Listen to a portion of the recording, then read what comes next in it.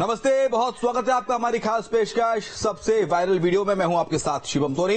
अगले आधे घंटे आप देखिए सबसे वायरल वीडियोस। दिखाएँगे आपको जैसी वीडियोस जो सोचने पर मजबूर कर देंगी क्या ऐसा भी संभव है। इन वीडियोस ने पूरे हफ़्ते भर सोशल मीडिया पर धमाल मचा रखा। तो चलिए शुरू करते हैं वायरल वीडियोज़ का सिलसिला।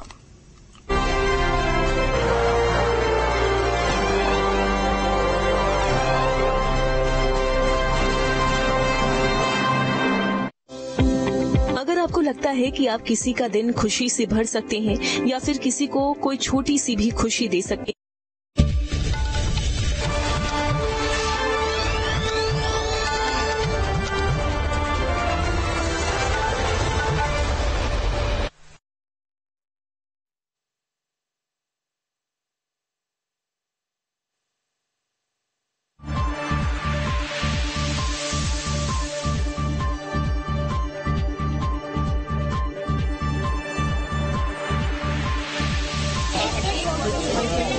हैं यादव ये तस्वीरें आप देख रहे हैं।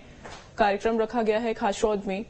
और इससे पहले तस्वीरें आपको दिखाई थी, जब मुख्यमंत्री पहुँचे हुए थे, जहाँ पर उन्होंने पूजा अर्चना की थी मंदिर में, भेंट चढ़ाई थी, और उसके बाद आरती भी भगवान की की थी, भगवान भोलेनाथ की आरती की गई थी। अब यहाँ पर मुख्यमंत्री पहुँचे हुए हैं अलग अलग कार्यक्रम दरअसल आज हैं। और खासरौद में जो कार्यक्रम आयोजित किए गए हैं उन सभी में शामिल हो रहे हैं मुख्यमंत्री। एक एक करके कार्यक्रम में जा रहे हैं और ये तस्वीरें देखिए, लोगों से रूबरू होते हुए कार्यक्रम स्थल पर पहुँच रहे हैं मुख्यमंत्री।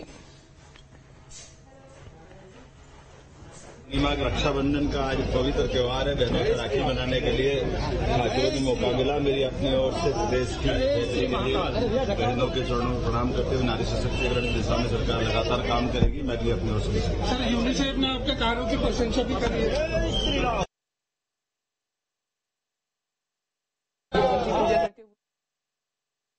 रहे हैं और यहाँ पर पूजा अर्चना जो है वो की जा रही है। खाचरौद से ये तस्वीरें आपको दिखा रहे हैं। इस समय उज्जैन में मौजूद है मुख्यमंत्री। तो खाचरौद में कार्यक्रम रखा गया है। वहाँ पर पहुँचे हुए हैं और उसके बाद यहाँ पर जो कार्यक्रम रखे गए उनमें शामिल हो रहे हैं। तो उज्जैन में अलग अलग जगहों पर अलग अलग कार्यक्रम है आज। और सावन का आखिरी सोमवार भी आज है। और इसी मौके पर अलग अलग जगहों पर कार्यक्रम है। उज्जैन दौरा आज मुख्यमंत्री का।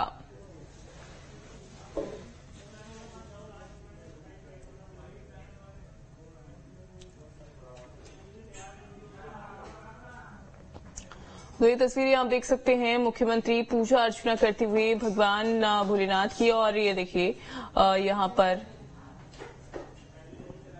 पंचामृत से भगवान भोलेनाथ का अभिषेक जो है वो किया जा रहा है। हल्दी चंदन और जल से जलाभिषेक करते हुए मुख्यमंत्री, और ये देखिए, शहद अब मुख्यमंत्री चढ़ा रहे हैं। भगवान भोलेनाथ को शहद अर्पित किया जा रहा है। पुष्प अर्पित किए गए।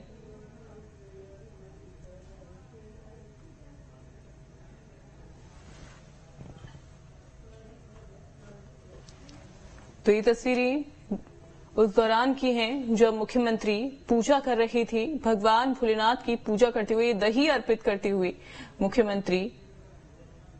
और कहते हैं कि दूध, दही, चंदन, शहद से इनका अभिषेक किया जाता है भगवान का। और उसके बाद दुग्धाभिषेक किया जाता है।